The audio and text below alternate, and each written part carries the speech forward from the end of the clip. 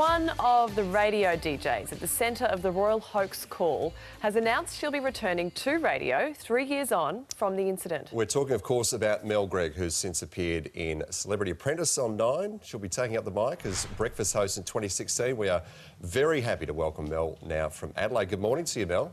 Hello, guys. How are you? I'm well, thanks. Well, congratulations uh, on the new gig. Uh, tell us on a personal note, what does it mean to you? You know, it means that I've got another chance. When you try to get something for so long, you know, you want to give up sometimes, but I just kept going. So knowing that I've got that passion and determination still proves to me that I am capable of still doing it as well. So tell us about the new new gig. It's in Wollongong. You're currently living in Adelaide, so that's a bit of a big Yes. move for you.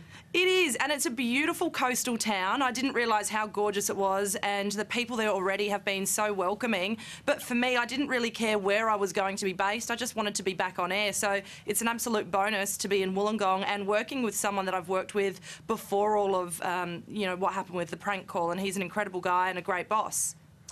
Mel, did you always want to come back to radio uh, ever since uh, that incident in 2013? No, you know, there was a time where I, I didn't, and I remember the moment so clearly. It was the first time I held a microphone, and that was at my engagement party. And when I held it, and, you know, the speeches went for about an hour because I didn't want to put the thing down. And, and that was the moment. And knowing how powerful a radio job can have, you get, you get to use your voice to be inspirational, share your experiences that can help other people, and that's important.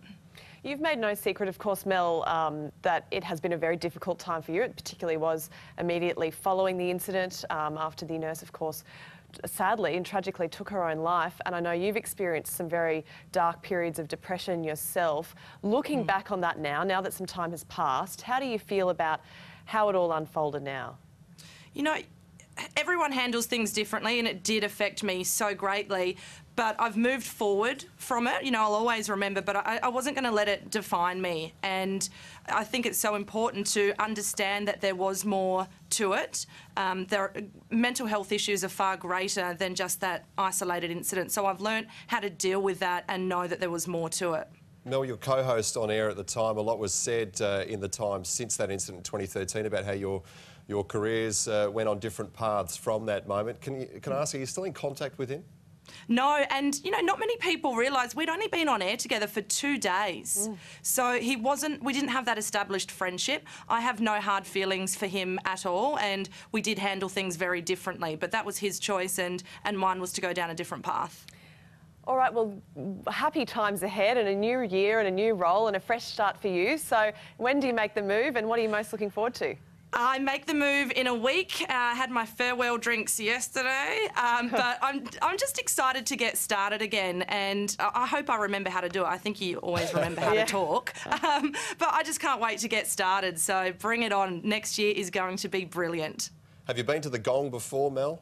I haven't. Well, apart from when I was signing the contract, and I'm like, wow, this seriously, it's beautiful. You guys need to come down for a seafood platter. Oh, you don't Done. twist our rubber arms. it's a beautiful part of the world, and we know you will go very well. And we appreciate your time this morning and for pushing through your hangover and Yeah. joining us this morning. So thank you very much. Thanks, guys. Very good. You're a trooper. Thank you, Mel. And if you or anyone you know needs support, you can, of course, call Lifeline. They are always there on 13 11 14.